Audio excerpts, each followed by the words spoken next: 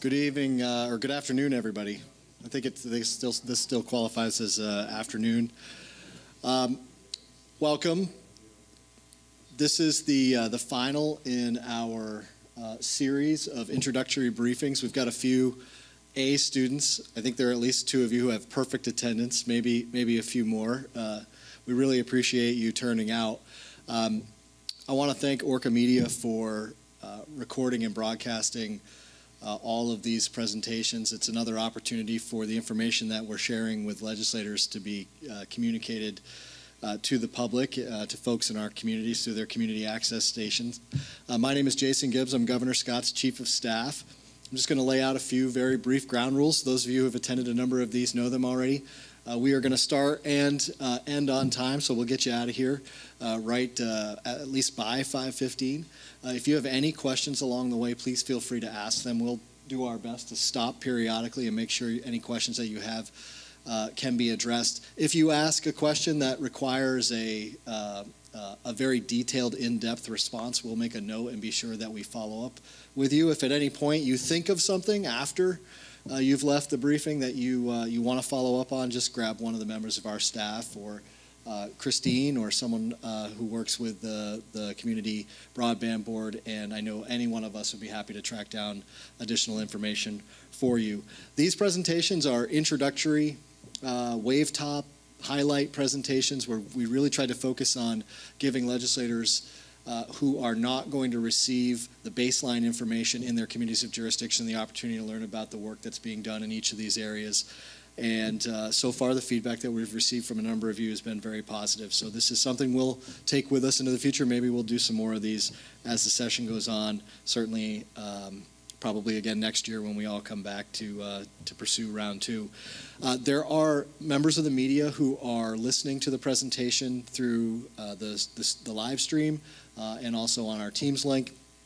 Uh, if any members of the media have questions, uh, we ask that you let us know offline. We'd be happy to get you those answers. This uh, dialogue is uh, primarily for legislators. The same is true of members of the public. We'd be happy to connect with you offline after the briefing and follow up on any questions that you have. Again, the Q&A and the dialogue is reserved uh, at least for the next hour for members of the legislature.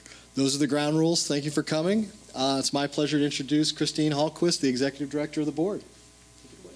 Thank you. And thank you for coming. And for those watching virtually, thank you for uh, paying attention as well. Uh, you know, when we talk about broadband, I know we've talked, uh, some of us have been at it for a long time.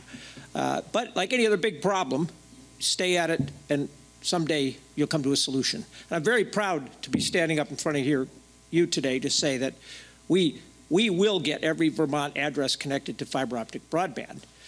Uh, we, we, we have the, the uh, communication union districts that were set up by Act uh, 71 in order to accomplish that goal. It's a, it's a very robust and resilient solution. Um, there are many states that are now trying to follow what we're trying to do. Um, it's nice being in front um, because we have the, you know, we're able to get the labor resources to, to accomplish the goals. So we have the plans. I'm going to talk about our mission. And our mission, this is right out of Act 71, essentially is to provide universal access to affordable broadband. But we translate that mission into three components. First component is to get everybody connected. And Rob Vietzke, he's the, he's the uh, person who's responsible for the Vermont Communication Union districts. He will talk to you about how that's going to happen. But I'm here to tell you that we have the business plans, the finances, and the ability to do that. So we will get everybody connected. The challenge, of course, is affordability. And that's really what our budget adjustment request is, is for, is for, is to address that challenge of affordability. You know, these areas that are not served today, they're not served today because they're expensive to serve. And you know, there's a there's kind of a rock and a hard place about that being expensive to serve because the people who are not served today are typically represent a high percentage of low-income folks. You know, think about the 55 communities in the Northeast Kingdom, uh, Northeast Kingdom CUD, um, and so their ability to pay is uh, is challenging. So affordability becomes very important, and our goal uh, is to try to make this affordable for the rural Vermonters and it is this for people in Chittenden County. This is about equal opportunity for all. So the, the way we're going to achieve this is through grant funding. Grant funding helps us achieve the mission. You know, if you look at uh, the cost today, the monthly cost to a, to a subscriber, over half of that is for debt service. So the more grant funding we can get, the more it drives down the cost for the, the end, for the end uh, consumer. Now, most of our funding is coming from federal grants, but some of these grants, grants do require a state match as we move forward. So, so for example, oh, I'm, I'm sorry, I'm not. I'm, oh, oh, I'm sorry.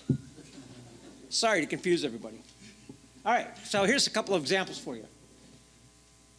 The specific, we'll be talking a bit in a moment about the middle mile grant opportunity we filed for. The middle mile grant opportunity is a $114 million grant that we've applied for with the federal government. That requires a 30% match. Um, that, that's, uh, we, we have $114 million. That comes from $16 million in uh, in-kind contributions and then another $30 million from state grants. Another example is the broadband broadband equity and access and deployment program, the BEAD program, part of the Infrastructure Investment and Jobs Act. That requires a 25% match. So we can take state money, that 30 million, and leverage 120 million. And today, you know, we're, we're actually really taking a deep dive on all of our business plans with the communication union districts. Because as you all know, there's been significant changes in the last six months, and that is the federal interest rates. You know, the feds are trying to slow down the economy through raising those interest rates. And if we look at the 40% of the cost that we have to go borrow, that has a big impact on the, on the consumer. And of course, inflation is hitting this market pretty hard. You know, you, you all know what's happening with the price of eggs. Uh, the same thing's happening in terms of the, uh, the equipment needed to build this network. And what's happening, you know, we've got $42.5 billion being invested across the country in infrastructure. Now, we're fortunate that we're ahead of the curve, and we were able to pre purchase material last year. We saved uh, $2 million on a $9 million purchase. So we are using the collective borrowing power of the state, and we have that advantage. That advantage is not going to be with us for long because of the rest of the country coming on board and starting to build that infrastructure. So the way our business plans are working, we're using grant funding to get things stood up. Our whole goal has been to provide 60% of the capital costs needed with grants. That was based on last year's plan. So we looked at the total cost of the network to be built for the state and said, okay, we need to get the grant funding for 60%. And thanks to the legislature and the governor, you know, we have $245 million in ARPA funds. We expect another $100 million minimum from the Broadband Equity and Access and Deployment Program. That 60% has now dropped so we, we are aggressively seeking additional grant funds. So traditional borrowing, just like your mortgage, if you know if you look what's happening in the real estate market, I think we could all understand what happens in this market. It's identical to your home. So you go out buy a two hundred thousand dollar home with a three percent interest rate, you pay X dollars a month. You go out and borrow at a seven percent interest rate, you're pay, paying X times Y. And, that, and that's where we are, that's what we're facing today. Higher interest rates, higher costs for labor, higher costs for material. We are still going to get it done one way or another. This is all about affordability, what we're talking about today. So this was the this was the uh, the language that came out of the, uh, the, the Budget Adjustment Act. We're looking for $30 million to be used as a state match for the National Telecommunications and Information Administration Middle Mile Program. That is a direct match to leverage this program. I'll talk about more in a minute about what that program is.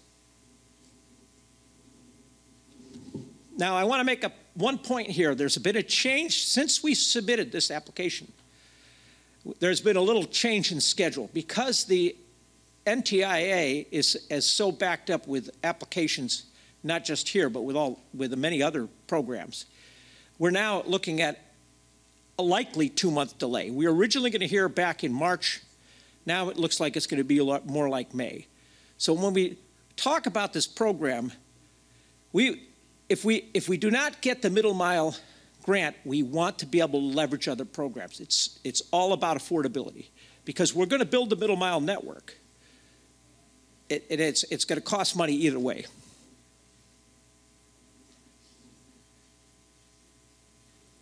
So to explain what middle mile is, if you think about our highways today, I'll use the highways as an example of what a middle mile network is. So if you think about, we have interstates. Interstates are limited access highways, you know, few places to get on and off. Those feed our state highways, and then those state highways feed our town, feed our town roads. When we're talking about middle mile, we're talking about the state highways.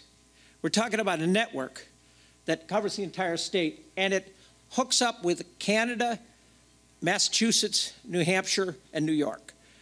This redundant, this is all about redundancy so that we have, first of all, an extremely reliable network. Um, so many of you have, may have been uh, part of understanding the 911 failures. The 911 failures occur because they're only fed from one direction. When you have ge these geogra geographically redundant rings, if a tree falls on one one place, it can be fed from another. So it doesn't interrupt service.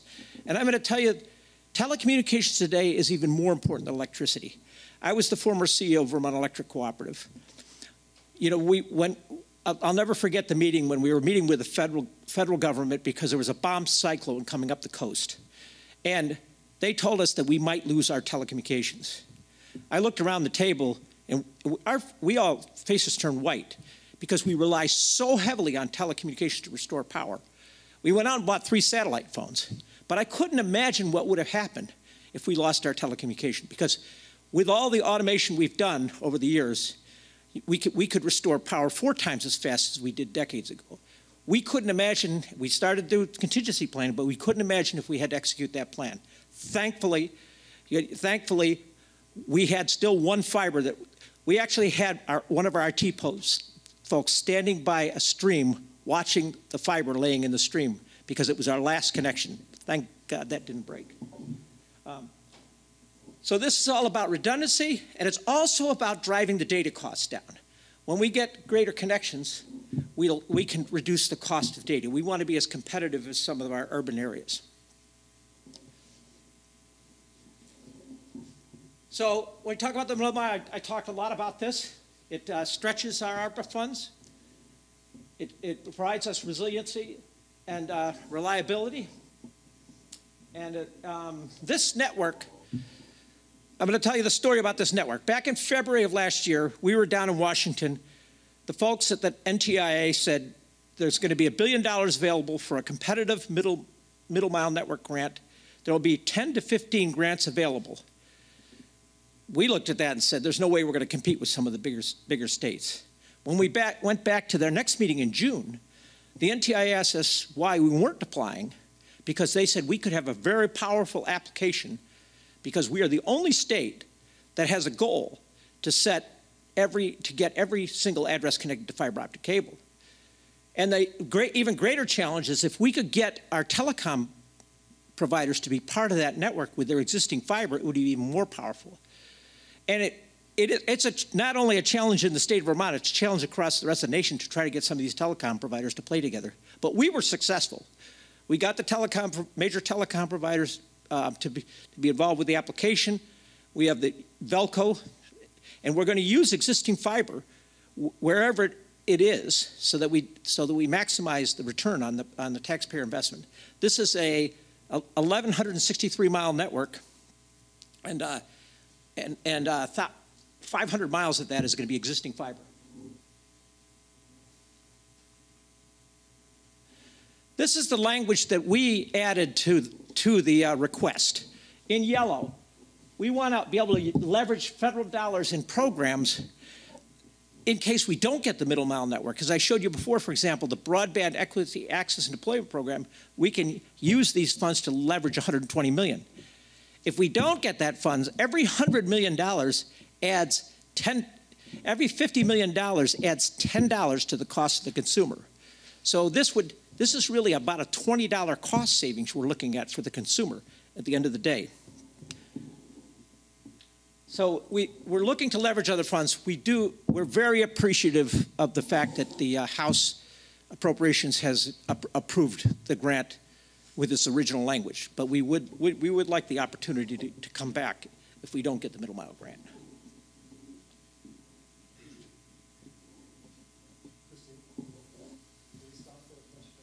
Yeah, sure. Question, yes. I'm uh, technically illiterate when it comes to broadband versus fiber versus cable. Oh, So good. I am, I am served by Comcast cable. So are you, is, is this, am I already in this network, so I am not going to get the fiber optic cable? Because I don't, like, my cable is like fifteen years old. I don't think it's fiber optic. It's likely not. That's it. I thank you for that question. I, I, I, do want to explain the difference between copper DSL, fiber, and cable as and satellite. So I thank you for that opportunity to answer that question. I'm going to start by making the statement: if it's not fiber, it's not broadband.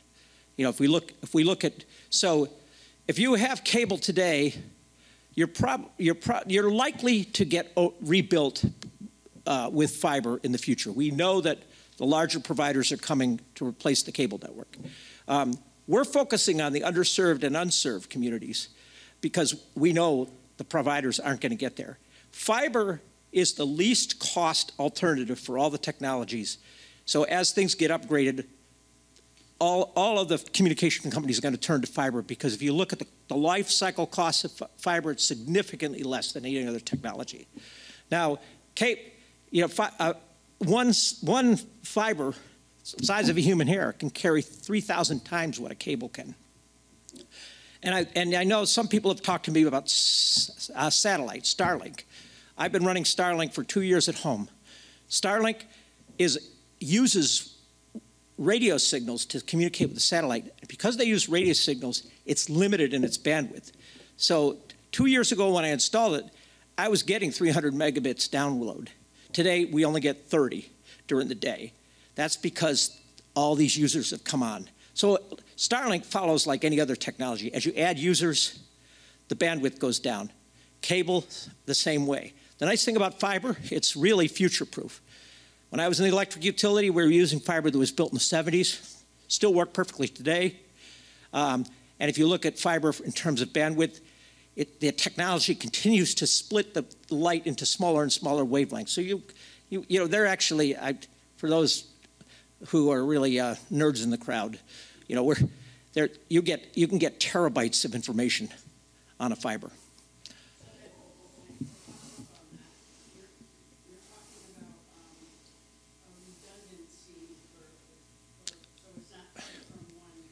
You're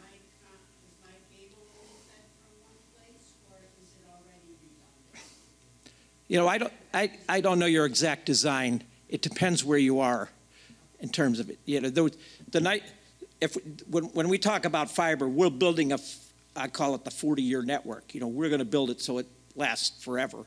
Um, in the competitive world, of course, you know, it, the, the return on investment was made decision. So if you're on a, what they call a, a single feeder, you're likely only get it from one direction. But if you're in the middle of a more urban area, you do get it in two directions, likely. So. Other questions? Yes. Um, So I had a conversation with NEK, NEK broadband yesterday, and, um, I asked how long before every last mile, um, is served. And, um, and they seemed to think it was five to seven years before, um, you know, we probably get everything complete. In looking at the monies that we spent so far, I mean, millions of dollars, and, and, and, and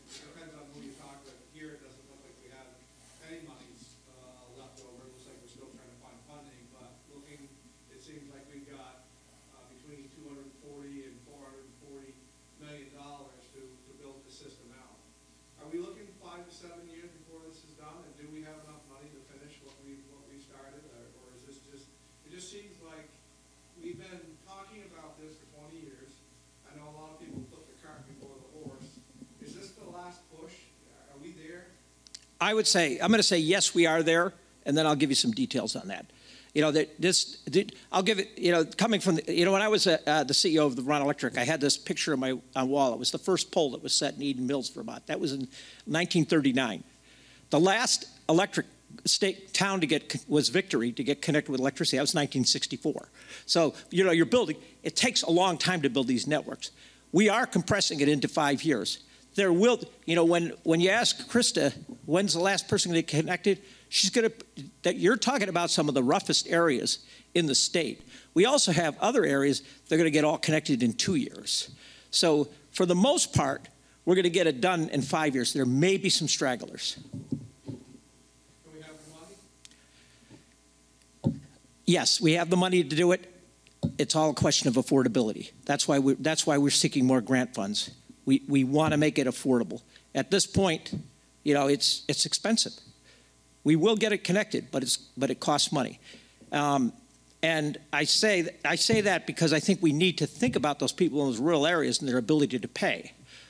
We also, have- yeah, I'm, I'm not gonna take the cent off your line, and I won't, so. Okay, well, we could talk more afterwards. Christine, is it, is it fair to say that then, just so we understand that, it's your feeling that you have the money to build the infrastructure, but in order to make the operations and maintenance of that, that system over time affordable for people, we have to lower the cost of the infrastructure as much as possible? Yes, yeah. So I'll give you a, a hypothetical example. It's pretty, I ran the numbers and the average for the state.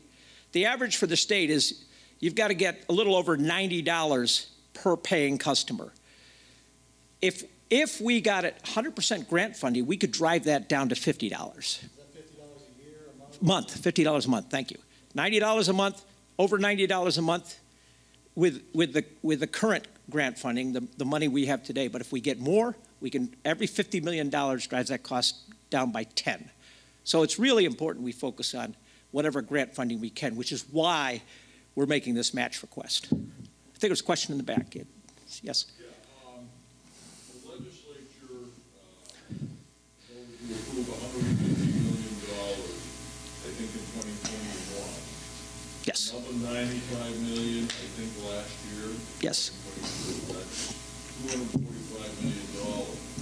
Much of that has already been spent? About 124 million has been obligated at this point. So we, yeah, and we, we intend, our goal is to get the rest of it obligated by the summer. That, the, the key there is to make sure, we've got five of our 10 CUDs, actually, Rob, will, I might- I don't want to steal from Rob, Rob V's thunder here, Rob V's but we've got uh, CUDs are actually in construction today.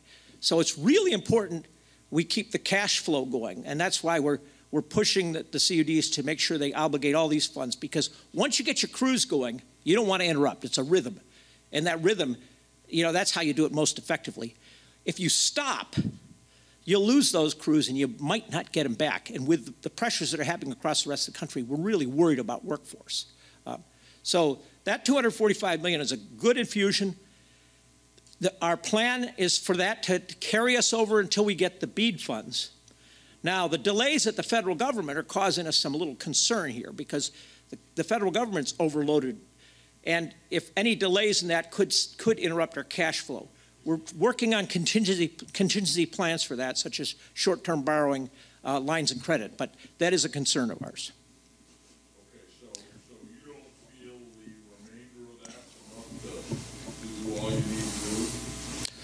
It assu- Remainder of the, the Yeah, the, the, the remaining 120 plus million. The plant, if, with, without, without delays in the federal government, we should be okay. But we're concerned about the delays in the federal government. And this program here, the, the middle mile program, that money comes early. You know, that money could be here by this summer. If we got that cushion, that, that would allay some of our fears about the interruptions in construction. What's that? You got, go ahead. I'm Just gonna say, a lot of these programs require a non-federal match. Oh, yeah, thank you, Rob. why we can't just use the funds that have already been, you. Rob Fish is the deputy director. He's, he's, he's mentioned, I'll, I'll repeat what he said, important point. Um, these grants that are coming require non-federal matches, so we can't use federal funds to match them. That's why these state monies are important. I think we're just, I think we, let's see. Another point to make this slide is really just what I haven't touched on is, remember, these CUDs are not for profits. So any savings they get goes directly to the consumer. So here's some example of some other federal programs that we could leverage. Um, these, these, these are uh, all in your presentation. We're just making a point that it's this, even if we don't get the middle mile grant, we are going to try to leverage other programs. So, so that's, you know, it's, it's about leveraging the grants so that we can reduce the cost to the consumer. At this point, um, there- I'll pause for any more questions, and I'll turn over to Rob Vietzke to talk about what the CUDs are doing with this money. Yes? I'll, I'll wait on that, I'll wait. Okay. Thank you, Rob. So this button makes it go forward. That makes, um, joining us today, and uh, I would actually put my slides in different order now uh, based on some of the questions, and certainly would, would welcome your questions. So um, uh, one of the slides, it's like the third slide, uh, talks about the 10 communications union districts in Vermont. And I want to give you a little background on how we got here um, in terms of uh, building municipal entities to go and deliver broadband to these unserved and underserved addresses. Uh, my colleagues have been doing this in Vermont for a lot longer than I have.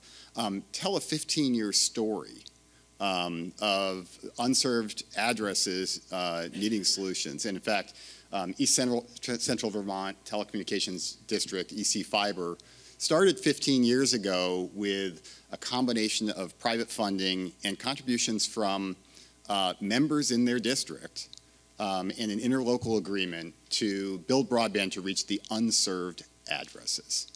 And over time, as they built up a little bit of revenue, um, they were able to go to the municipal bond market um, and borrow revenue bonds uh, to expand that network. 15 years later, they are about to complete the first 24 towns that joined that district. Along the way, the legislature's done some really helpful things. It passed an act that allowed um, town meeting to vote to create a communications union district and to appoint representatives to govern it. Uh, it passed a piece of legislation that um, created the Vermont Community Broadband Fund uh, and created a mechanism through which the state could support the development um, of these communications union districts. And there are a couple things, if you, for those of you that like to go back and look at old legislation as opposed to the reams of legislation you probably have to uh, look at today, um, the, the findings in Act 71 from 2021, um, right at the start of the pandemic, are really helpful.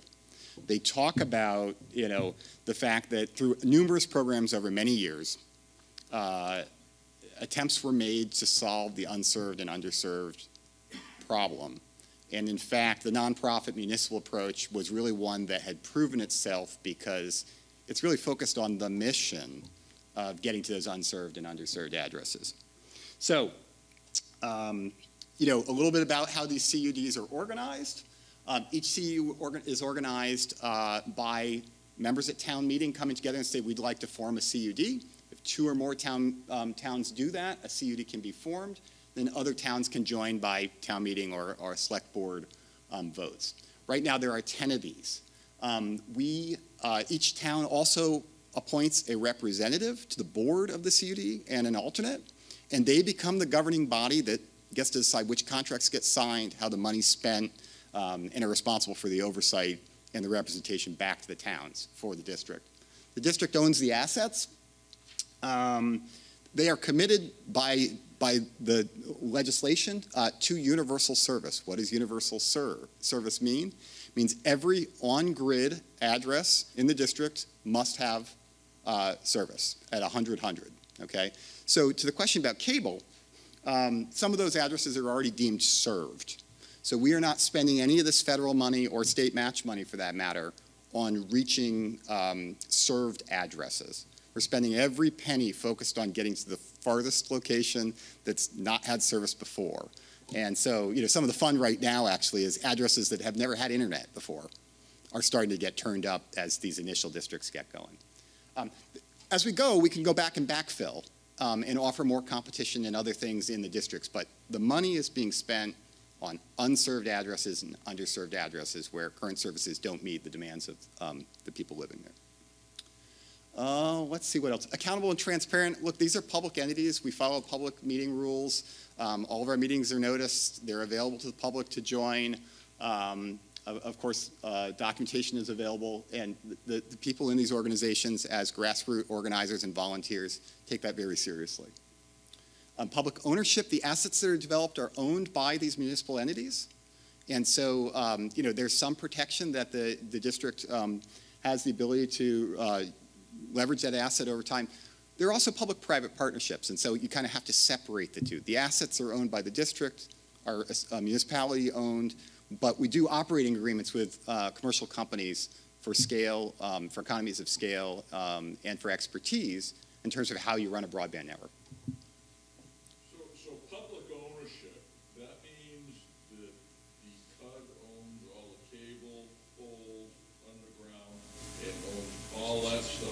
Correct. okay? Yep, so, so that's in the public interest, and, the- you know, they- you- the public owns the fiber that's being developed to these locations that have never been served before, right? Okay, now, now, the, the CUD owns correct? Correct. So the CUD is three towns, the towns themselves don't own it, the CUD owns is that correct? That is correct. Okay. And the CUD has a list of what it owns, I assume. Yeah, absolutely, and, and because there's so much federal funding, actually, there's really strong uh, uniform guidance that comes with the grant funds in terms of managing the assets and tracking them and such things.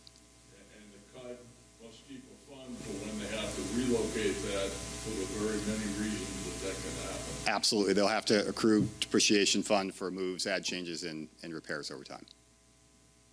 Absolutely. Um, I should probably repeat the questions. I don't know if they can hear them on the camera. Okay, thank you. Feel free to remind me. Um, so private partnerships, uh, you know, again, there are, there are companies that do this and are, have the expertise and the scale to operate these networks, but those contracts are being let through RFPs. If that operator doesn't do a good job, we can move to another one over time. Um, so, you know, there's a good model here of strong public control, but um, leveraging private partners to get the work done. Okay? Um, some variations on how that done, but the principles are consistent. There are 10 of these districts today. There are only a couple places in the state where, um, for instance, in Burlington, Burlington Telecom has had a fiber network for a while. Uh, Vermont Telecom um, uh, Telephone had received a large grant 10 years ago, replaced their copper with fiber. Um, so there's some places where CUDs have not developed, but um, I believe it's over 75% of the addresses um, in Vermont that are unserved are covered by a CUD. Okay? Um, Community-based, I think, is really important. Uh, You know, uh, I am one person, but for each one of the representatives and senators in the room, there's someone um, in your district or in your town who's volunteering, in some cases, hundreds of hours over the last couple years to help build these programs. Um, We benefit from former telecommunications executives, lawyers, accountants, communications um, experts, and everything else you can imagine who have come together to get this done. Um, I know that in Maple Broadband in Addison County, um, they logged, I believe, over 2,000 volunteer hours in the six months between July and December um, from within their community helping to stand up the organization. Okay? Um, and the last one is Christine's slide. Question? Please. I'm uh, representative from uh, Lamoille One, so Jed Lipsky, and to the representative from Clarendon who asked a question about uh, CUDs own all of the infrastructure. What about where there are existing poles that are not, that go to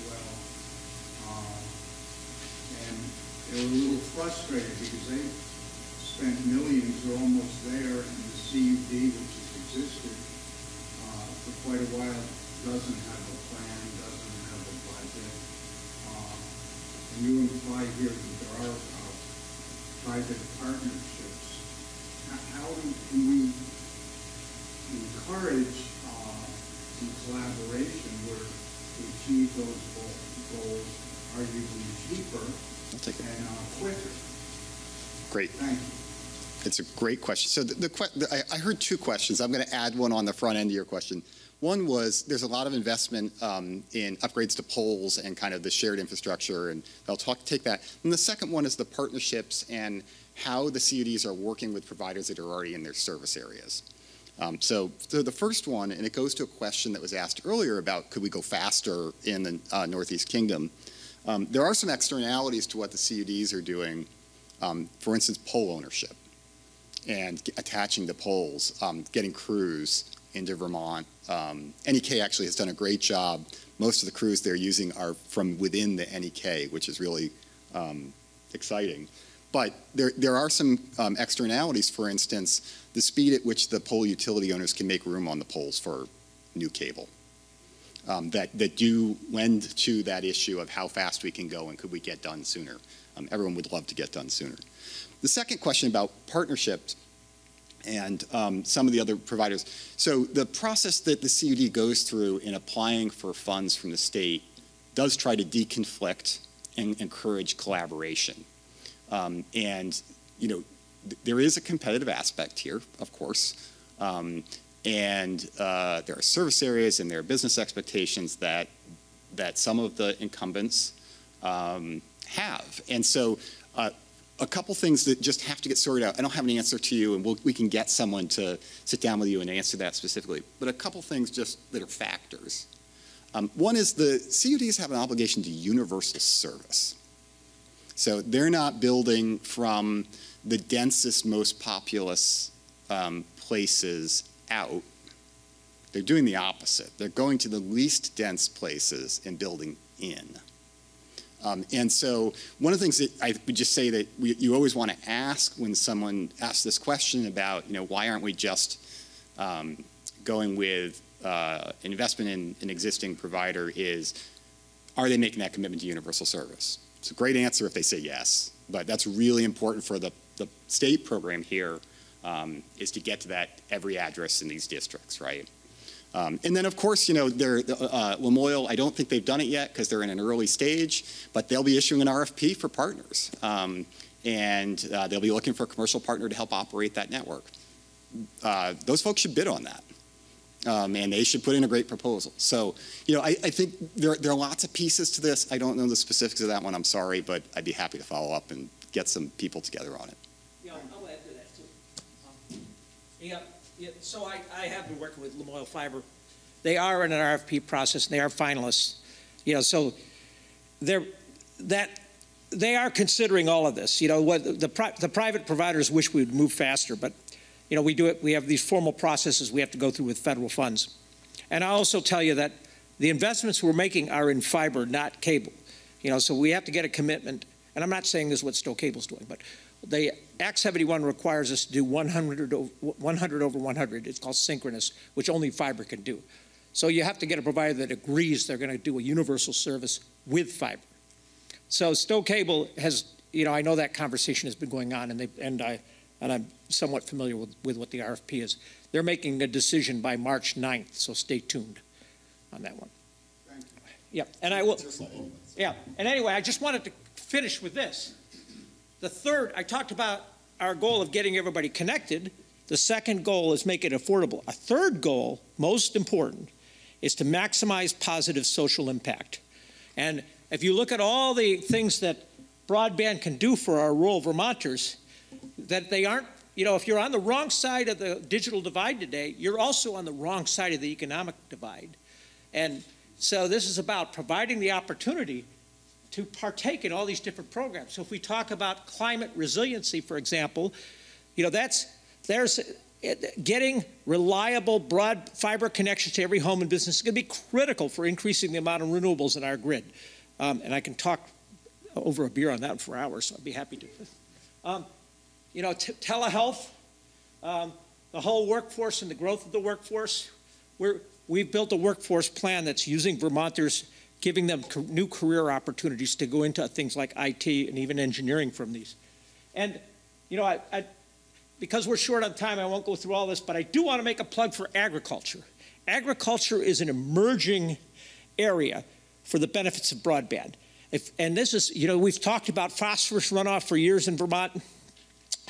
Broadband, when you get to this, what they call sub-meter accuracy that's available when you get a well-connected network, you can target your nutrient application and, and you get reductions greater than 30% of nutrient applications. I've been working with the farm, 900 acre farms that feeds Jasper cheese.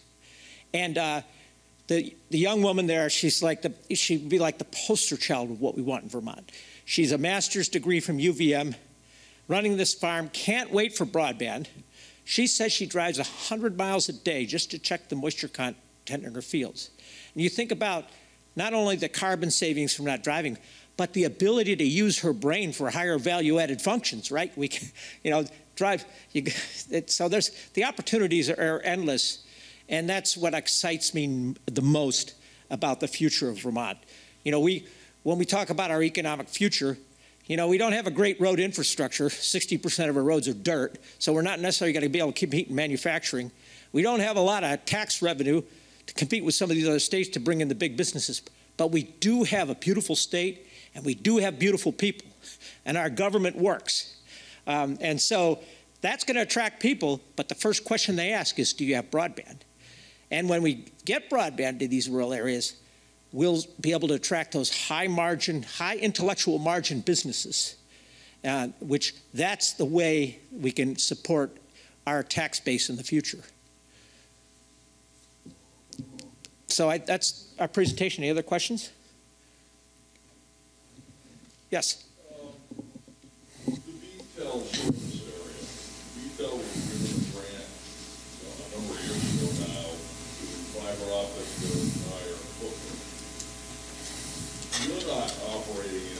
You? No, no. Wherever there's fiber today, we are not going to. Uh, we're not going to overbuild fiber with fiber. That's for sure. That's right. Unless we have to go through that fiber to get to an underserved area. But for the most part, you can be assured we're not.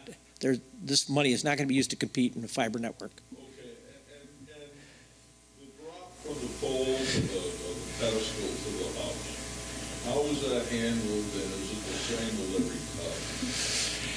So the question being the drop, how is the drop being handled? It's not the same with every CUD.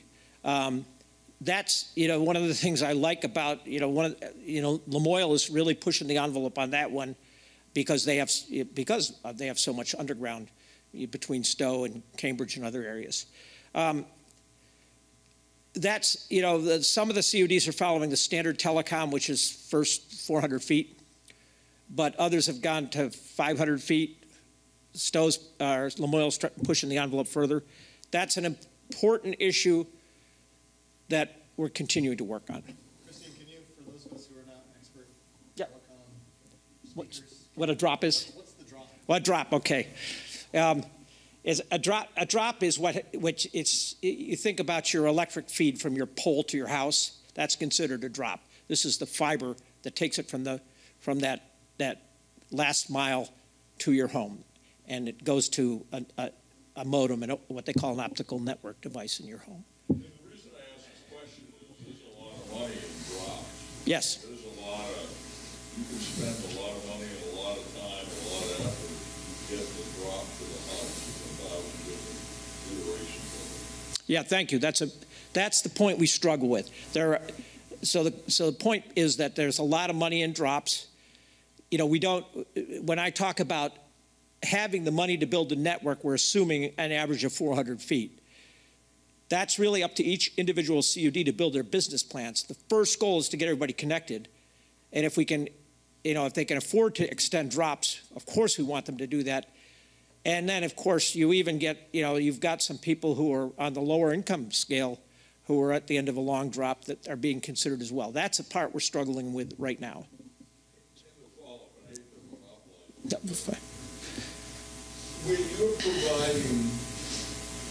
a, a, fiber to the home, are you also, are you reconnecting with, the telephone that exists in these homes copper or some other means into, into that fiber?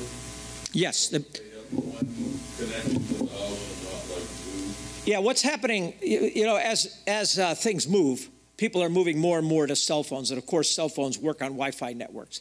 But you will have the ability to keep your traditional existing landline, and guess what? It's going to be even more reliable because it's going to be on fiber. But yes, if, if you look at some of the major telecom carriers, they're replacing their copper networks with fiber and still providing people with phones, and that's what we intend to do as well for those that. And I assume that people have to request the fiber from you, you're not just, I mean, how, are you going door to door and saying, gee, do you Well, we are, we are going door to door and asking if they want the fiber connection. Not everybody's going to want it, so we're not forcing it on anybody.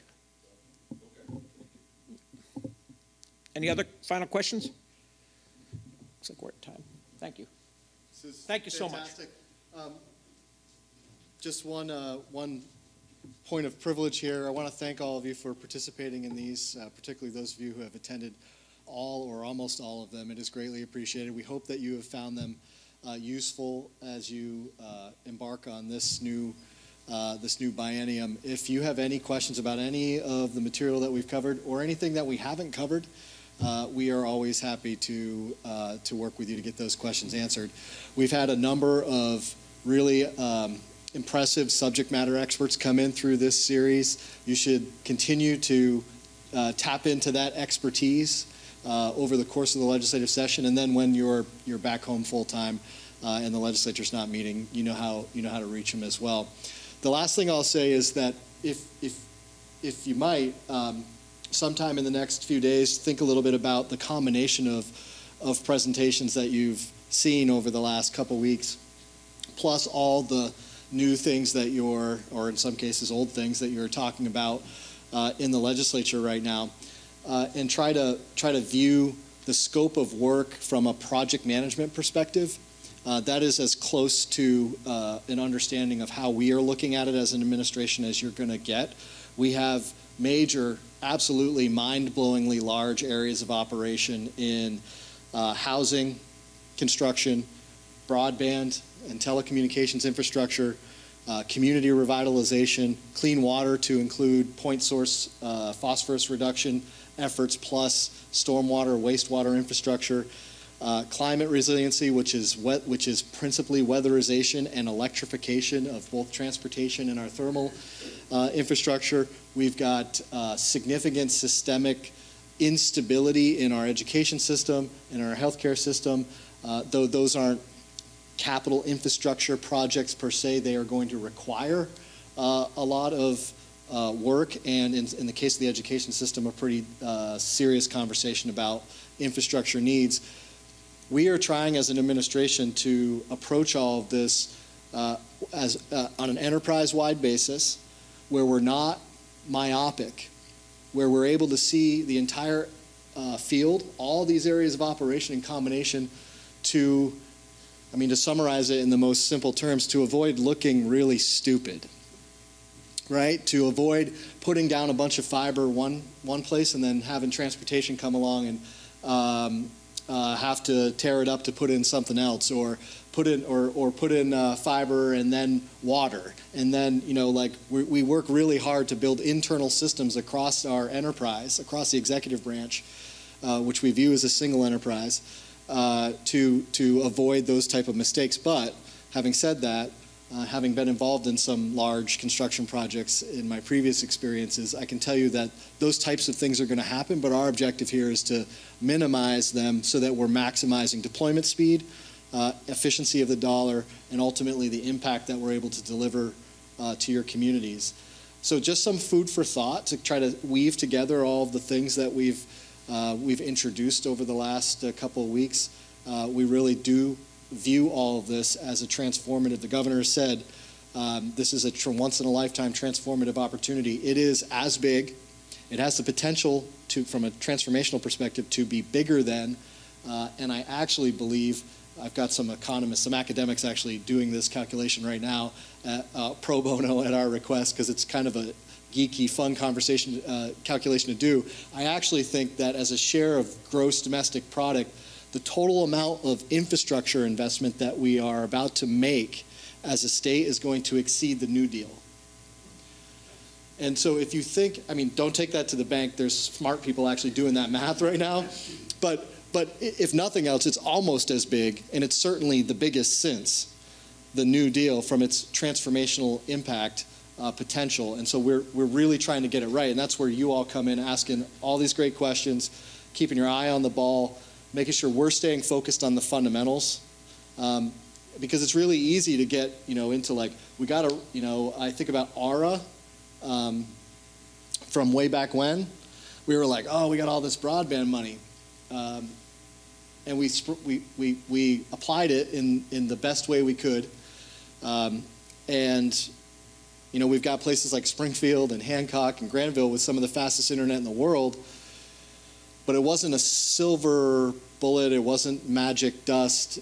Uh, we still have housing needs, we still have social service needs, we still have education needs. We still, so it's incredibly important that we not only manage the project, but also stay relentlessly focused on the fundamentals uh, because they ask about broadband, but they need good housing, they need good jobs, they need affordable uh, places to live, all that sort of stuff. So trying to weave it all together. If you have any other questions, uh, we would be happy to answer them. Thank you very much for coming. Thank you for doing it.